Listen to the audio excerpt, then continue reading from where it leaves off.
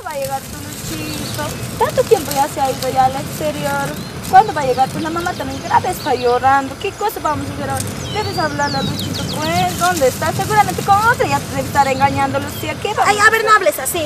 Me ama el Luchito, está trabajando pues para nuestra casita, para que nos casemos. Me ha prometido que nos vamos a casar. Unos añitos más trabajará también, ya se va a volver. Pues verás, estás hablando, vamos. Ya vamos, Lucía. Y mira, aquellos floconazos. ¡Ayuden, pues, floco!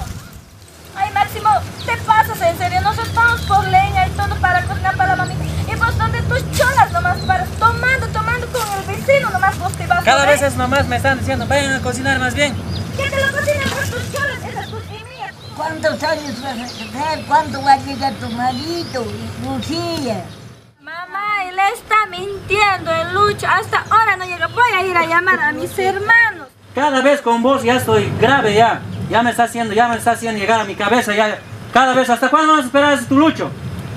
¿Cu- ¿Cuántos años ya ha pasado? ¿Ya cuánto te vas a casar? Mira, la mamá también viejita ya está. Seguramente Sí, vamos a esperar así. mintiendo. Le está mintiendo, seguro, seguro le está engañando igual. Hasta ahora no O ya tiene otra mujer, ya tiene tal No vez. digan eso, pues se ha ido a trabajar. A mí me ha prometido, voy a volver, estoy yendo a ganar para hacer nuestra casita.